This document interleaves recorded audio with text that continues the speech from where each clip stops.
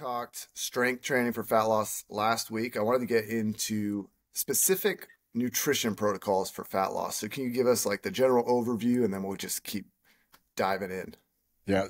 So we're, we're hopefully building some sort of masterclass here on fat loss. This general overall view of, hey, we want to be in a deficit and then come from energy expenditure or decrease energy intake. Now we want to kind of gamify this. How do we get to eat less, so to speak? So last week we talked mm-hmm. about how do we expend more. Now we want to kind of talk about how do we take in less energy. And you know, this is where that psychological aspect is like comes into play. The the dynamic as we talked about in overall weight loss, our first podcast, episode three in the season, was hey, this is going to be a lot more psychological than it actually will be physiological. And probably the bigger thing to adjust here is energy intake. And this is the common thread I see in exercise. It's outworking a bad diet type of mindset, right? People like, hey, I don't want to change anything outside of the one hour that I'm exercising four to five times a week. You know, that's you're going to be responsible for overcoming my bad lifestyle and habit and unwillingness to change diet and nutrition. Where if you just look at the pie chart distribution, it's five hours and then how many hours in a week, right? 24 hours in a day times seven.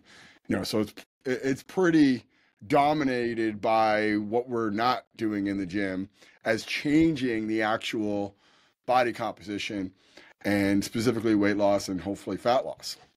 And I think that's the part that as we break down, you're going to have to have a lot more responsibility as a athlete or client for this than than you maybe possibly understand or appreciate, right? I go see an expert like myself or you, and you say, Hey, I want to lose weight. And you tell us all the things that you want to accomplish. And then you say, craft this perfect program. And then it gets to the, okay, well, majority of this is going to fall on you to eat better and make sure that you are changing your lifestyle and habits.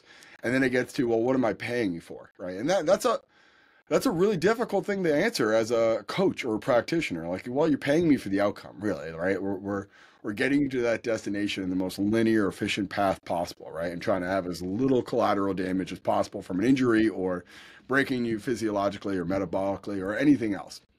But the dynamic that plays itself out over and over and over is the coaches that are really good at getting people to lose weight and lose body fat are the ones that understand that majority of this is going to fall on that client or athlete.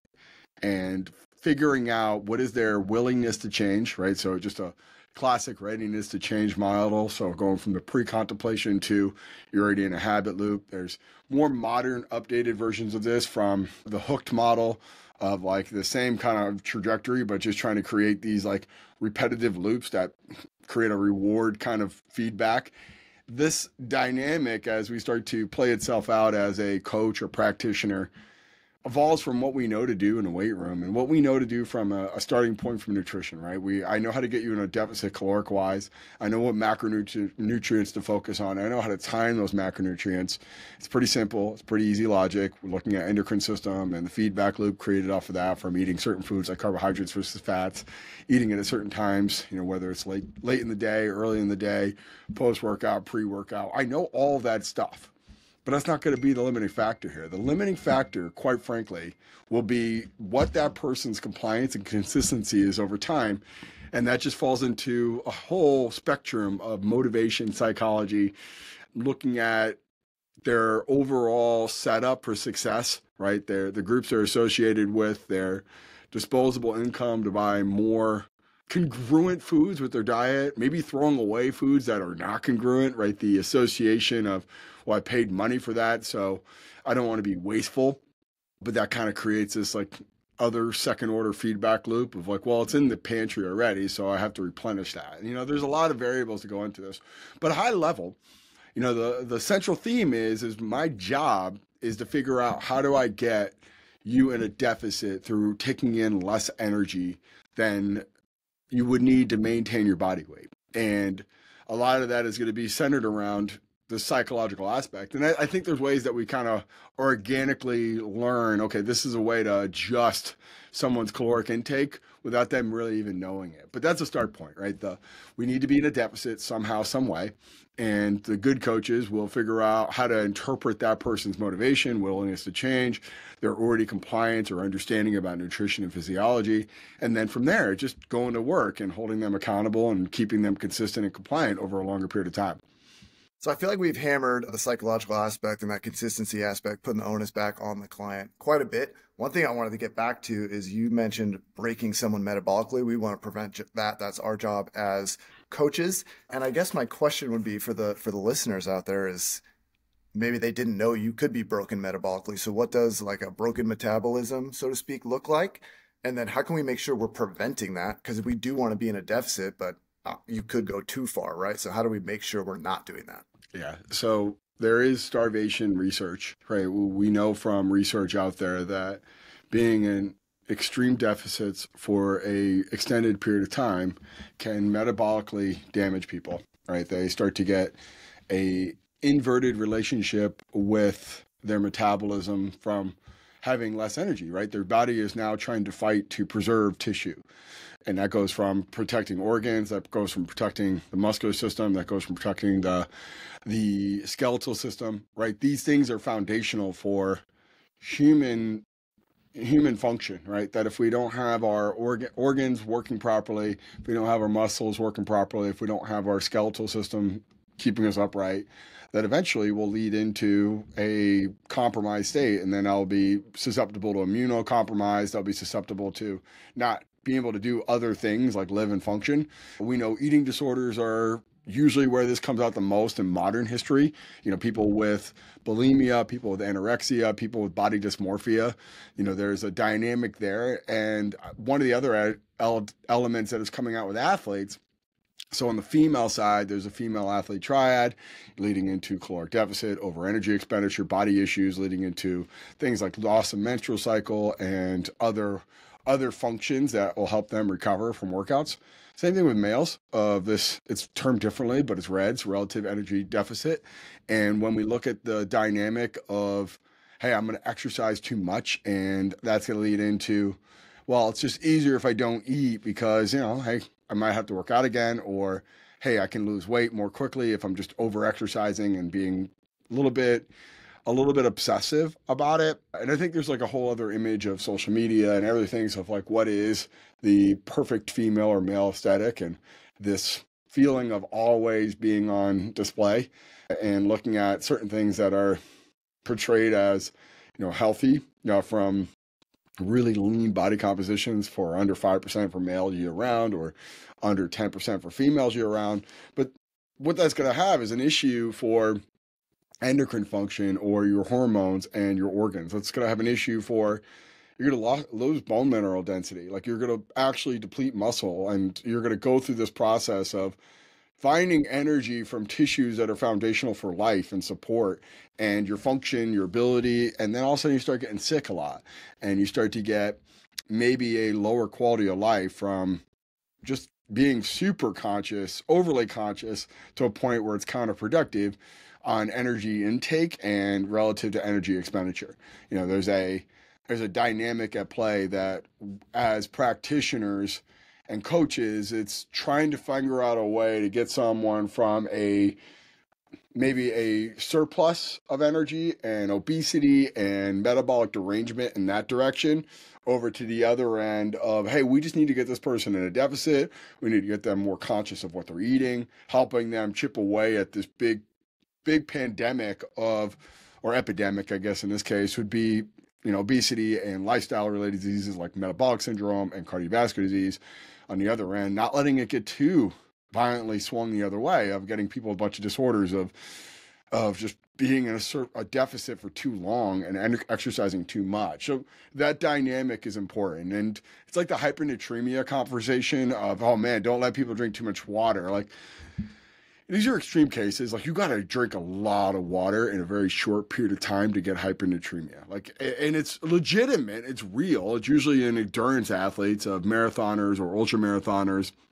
or triathletes who are trying to water load because they don't know if they're going to get enough fluids during the race the next day and they get into this but it's breaking like 10 liters per per pound of body weight like type of dynamic right just flooding their body with fluid right and i'm exaggerating for exaggerating point but the chances of someone overhydrating in a normal everyday world is very small and minuscule. But I don't know if that necessarily is the same conversation about someone developing an eating disorder or body dysmorphia.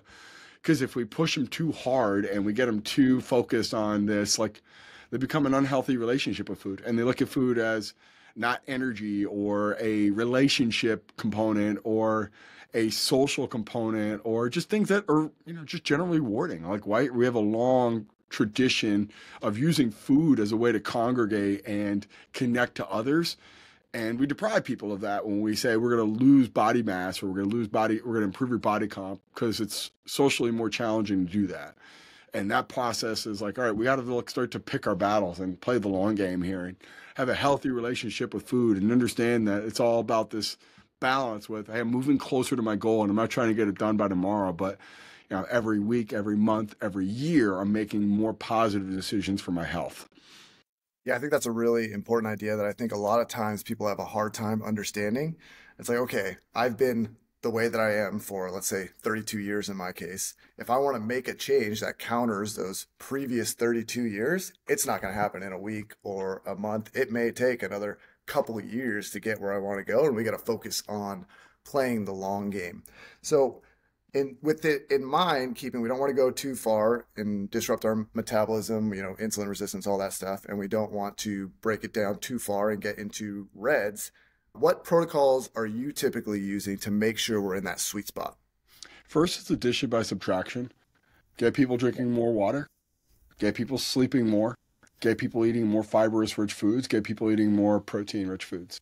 Right. So starting at the top, more water and that and that's just fluid, right? And then getting them more control of their fluid intake because a lot of times there's there's associations with certain meals with high calorie based drinks, right? So the hey, have a pizza and a coke, or have a have a beer and, and a hot dog. That kind of stuff is is very commonplace, and they're associated, and, and people market that and the the flavor profiles. And I think something too of this is a very big much in macho and Eastern philosophy, but there is a overconsumption of certain flavors and there's a the spectrum of sweet salty savory and then there's sour bitter a lot of times we look at the complementary of some of these foods is just getting all these different flavor profiles together and it makes a much more balanced flavor. But with that being said is we can kind of get too locked in on those flavors. And you know when we look at eastern medicine they'll look at people who overconsume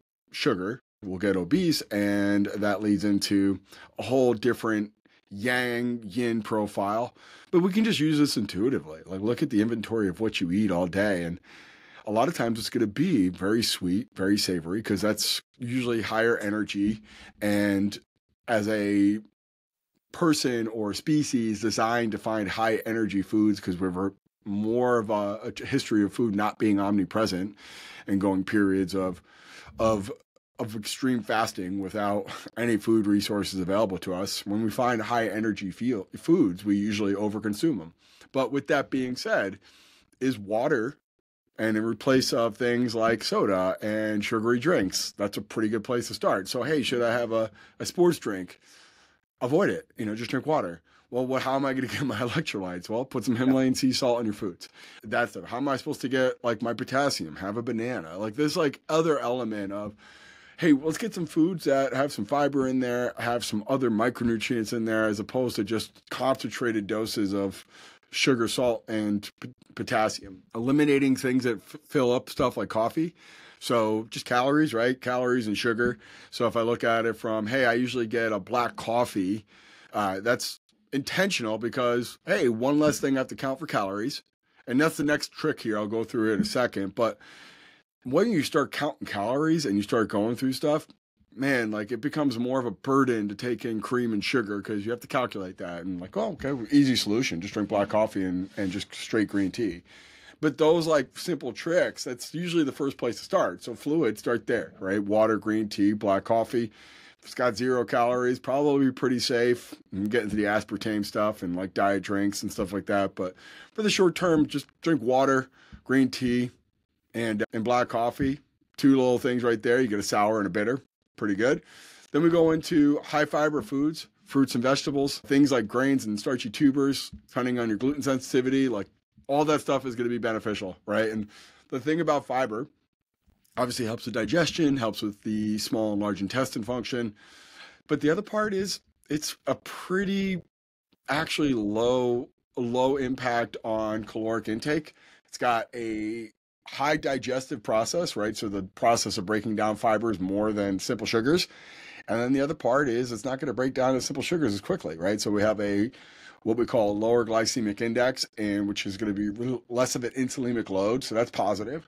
Plus, two, if you look at a lot of the the fruits and vegetables component, it's a high fiber, high water to low calorie density. So it's got a huge weight, but actually low amount of calories. So again, here's another kind of trick of we're adding in food size and density, or I'm sorry, food, food weight, not necessarily density, but the caloric amount for that is lessened, right? So we're drinking more fluid with less calories. We're eating more food in terms of size, right? Eating a huge salad or eating a bunch of fruits and vegetables throughout the day, more fiber and actually less calories per actual weight, so you're fuller. So it's another kind of trick there. Then we look at things like higher protein, which has again a higher thermic effect to feeding, so it takes a little hard, it's harder to digest and break down. But we keep this amino acid pool topped off. And a lot of times when we feel hungry, it's because one, we usually chew our foods too quickly and we just get it down and so we're not releasing ghrelin. The the way we our ghrelins kind of keep getting released and leptin's not activating so we don't feel full and we constantly feel like we need to eat more even if it's regardless of a high energy yield from the foods that we're eating. We don't really get that trigger. So we look at those big 3 and then the final one is sleeping more which is the the easiest and most most convenient form of fasting in my opinion that you're probably not waking up in the middle of the night unless you're a advanced bodybuilder and getting a protein shake at 2 a.m. You're probably not waking up. Like, so if you're to sit there and say, hey, look, should I include fasting into my lifestyle? Like, pretty good fasting period is from 10 to 6 a.m., 10 p.m. to 6 a.m. You know, there's an eight hour fast every day, regardless. Well, should I eat something before? You know, sometimes you don't have to eat something before you go to bed. So maybe we can stretch out that fasting period from maybe 6 or 10 p.m. to 8 p.m. or even earlier 6 p.m. So now we can go 6 p.m. to 6 a.m. Uh, should I eat breakfast? Well, you know, maybe we need to get some fluids in first and maybe we need to get some movement and see how we feel. So we can stretch out that window to 8 a.m. So now we might go from, let's just say 6 p.m. to 8 a.m. just without eating any food. You got a 14 hour fast right there. And you're getting a huge benefit from sleep, from your whole night cycle type of endocrine cycle of melatonin, leptin, testosterone, growth hormone, which is all going to be beneficial to your metabolism. All of a sudden, thyroid and adrenals work better, right? We look at adrenal production improves in the morning and decreases at night, all sorts of great stuff. But that process of okay, well, we're going to drink more fluids with less calories. We're going to eat foods with higher fiber, which has a higher was a lower amount of calorie to weight type of ratio. We're going to eat more protein-rich foods to keep our amino acid pool topped off to help preserve muscle mass, but also have to work harder to break that down. And then we're going to sleep more. Those big four right there is a huge addition to most people's lifestyle. And I would argue pretty much 10 out of 10 people aren't drinking enough water, are not eating enough fiber, are not eating enough protein, and aren't sleeping enough. Like it's pretty simple right there. Start right there. You're going to make a huge inroad there. And the part that I would love about all that is one, everyone's going to probably agree with it. So if you're listening to this and you're super advanced, the 99th percentile, like you're locked in, like this is beneath me, this is elementary.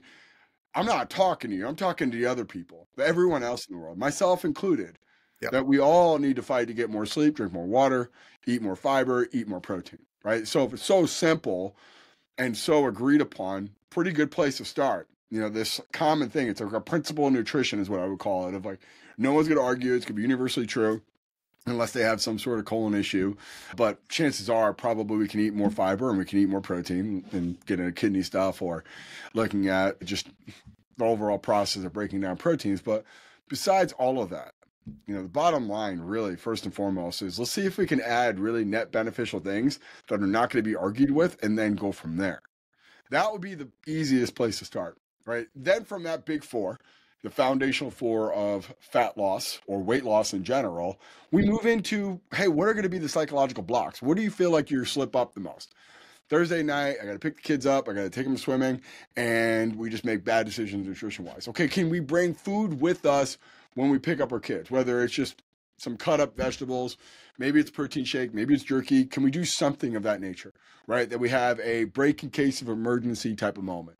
You know, that's the tricks that we get into as we start talking about fat loss and weight loss. It's have some hard boiled eggs always on re- always ready to go. Have some jerky always ready to go have foods when you're faced with that dilemma that you're probably going to make a bad impulse decision. Because one thing you always find is carbs will always be available, right? That no matter where you go in any part of the country, you can find carbs like that because they're cheap, they're easy, and they're always going to be liked. So that part is don't worry about finding carbs, worry about finding protein and vegetables and you should build your life around okay worst case scenario do i have accessibility to protein and vegetables if i travel if i'm driving if i'm picking up the kids dropping off the kids. Do i have protein and vegetables available to me? Yes or no? And if not okay well you need to prepare and plan around that. And there's the other part where there's a little bit more effort associated with procuring that because there's a lower shelf life unless you're getting jerky or you're getting now they have dried dried vegetables that are pretty decent. But you look at it from the concept of most of the stuff that we incur in terms of our daily life in getting this lifestyle that's congruent with weight loss or fat loss is about handling these moments that we're probably poorly prepared for right? The the old adage that you know that there's no such thing as luck. It's just when preparation and opportunity converge. And if you want to lose weight it's not luck that wins it. It's being prepared. And then that moment where you're going to be most challenged, you have the most things at your disposal will help you stay congruent with that goal. And then here's the other part. If you're locked in all week and you want to have a meal that you enjoy with your friends or family, you feel empowered to do it. And the part that's planned and is structured, right? It's not a cheat meal. It's a necessary amendment to a lifestyle and a diet that you know is congruent with what you want to accomplish. And then maybe you get a whole thing about, I mean, we can go all the way back to Mario Pasquale's anabolic diet, which essentially is the first carb restricted protocol that was designed to help build muscle. And we're depleting glycogen throughout the week for the in- intent that we are going to create glycogen supercompensation, right? The the whole thing of carb carbohydrate loading the night before an event. It's probably going to be more because basically we just drain the sponge of fluid from that glycogen from depleting carbs and glucose all week. And now we got to overload and then we expand the size of that glycogen and then hopefully that muscle. And we stimulate more mTOR pathways enzymatic property to create muscle. But the other end of it is that is a very intentional psychological trick of you have rewarded yourself with a meal that you know is not necessarily 100% in line with your goals but it keeps you going and it keeps you locked in for a greater good. The, the question though is when you react to that versus you plan it then starts getting into the reaction leads to a, a, cascade effect of basically falling off the entire plan altogether versus working hard all week get to friday i'm to have that meal or saturday have a breakfast with my family or whatever it is that's for you. And then you start to structure your lifestyle around that. And what's better about that is eventually that plan is to migrate into now having really high energy yielding foods might be net beneficial so if we start to get below 10% body fat as a male, well, all of a sudden now that insulin sensitivity goes up. So having a high glycemic carb at certain periods of the day, post workout, or maybe within that middle of the day type of de- period when the sun's at its highest and we hopefully can utilize that energy most efficiently, might be of net benefit. And then we start to time that out better. And we start to organize our training a little bit better. And we start to look at it from I have an intention with what foods I'm eating when I'm eating it because it's part of a larger, more aggregate plan. And that whole process. But just to backtrack from there, just start with addition by subtraction, the big four of hydration, high fiber, protein, and sleep. Then start to look at it from, okay, well, what's my plan? in these moments that I'm being most stressed? And what's my plan to help me get through a week, a two week period, a month period, right? Some people do better with shorter increments that have a amendment to their meal plan. Fine. We'll put that in on Thursday. That night that you know you're gonna be with the kids and you have no other options and you don't really want to bring cut up vegetables and jerky with you to pick up your kids. You just want to have a good meal with your kids and your wife and whatever else you do, like all good. But you got to get back on on Friday. That's the tr- that's the deal here because that's your goal and we're making these like plans to handle life as it comes to you but we also need to get you back on track quicker and then as you get further along like you're doing great. You're under 10% body fat. Okay now we can start to include high glycemic carbs post workout it might come in supplemental form or it might just come from having maybe some maple syrup with your shake or having frosted flakes uh, post workout with a whey protein shake. It can come a whole host of things but it becomes more of a that's a planned structured thing that we know is going to be a part of this overall higher level plan. So really, if we're boiling it down, it's that big four. Like hammer those the, the big four, and then prepare. You know, mm-hmm. I'm, I'm, actually reading a book about astronauts. They at NASA they're training like, what's the next thing that can kill me? It's like, what's the next thing that's going to throw me off track? Yeah. And then you have a plan for that. Like, okay, I, like you said with the kids at swimming. Okay, I need to bring jerky to swimming so that I don't get hungry. And then you have like a that food emergency where you know you're going for for the quick and easy thing. It's almost always carbohydrates, right? And so, if I'm understanding correctly, it's not like you have to do keto, you got to go carnivore. It's not like this one diet to rule them all. It's more boils down to your consistency in these foundational habits. And then the more discipline you can get with it, the more freedom you have down the line. But that, again, it boils down to that psychological aspect and then the adherence and consistency with that individual. Yeah. Well, and to touch upon those like diets, right? We can go all the way back to the Mediterranean diet. We can go back to the zone diet, which is 30, 30, 30. Mm-hmm. We can look at, um, ketogenic diet, a paleo diet, a carnivore diet, a vegan diet, all of them have rules. They have rules of like it, you know, the the old adage, if it swims, if it runs, if it grows from the ground, it's safe to eat. You know, those are pretty good rules kind of live by. And if it has a single ingredient, it's pretty fair game. Right? Or if it has no ingredient list, that means it's assumed it's a beet or it's a chicken breast. Like that's kind of a good indicator. If if it has no ingredient list, that means it's one ingredient. Those are rules, and that helps in terms of decision making, right? Complexity is hard. Human bodies are complex, open, adaptive systems that procure energy from the outside world, and we have no idea how a molecule of energy is going to interact with our internal chemistry. So, if I give you rules and consolidate down your decision to things that are going to decrease your overall caloric intake, right? So if you look at a carnivore diet or ketogenic diet, you remove a lot of processed foods. That's going to be high energy. There's a rule, and that rule creates less energy intake, right? And then it creates this other thing that's a phenomenon associated with it is usually a diet like a carnivore diet is a complete departure from what you normally eat. And there's a learning curve. And the association is okay, well, you since you don't know what to eat, you usually eat a couple things and you stick to that out of fear of breaking this thing and not giving its just due. And maybe it's foods that are enjoyable, like eating more animal proteins with higher fat, eating more fruits or tropical fruits, which is always hysterical. Like, yeah, this feels natural that we're eating papaya and and and plantains in Buffalo, New York in January. Like that's yeah, that's normal. That's what we did. That's what our ancestors did. You know that dynamic that I got from a gas station. I love the I love the anecdote of yeah, look at this. This is BS. Like all right, man.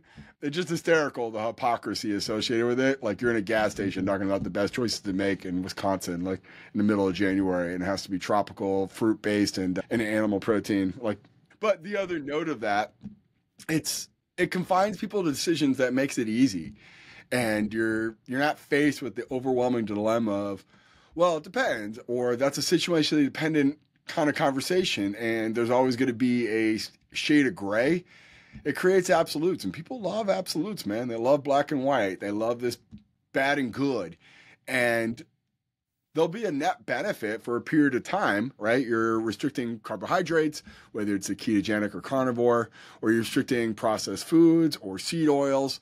Great. If you're going paleo, you're restricting probably breads and pastas that are going to be high in caloric density, that are going to be typically overeaten.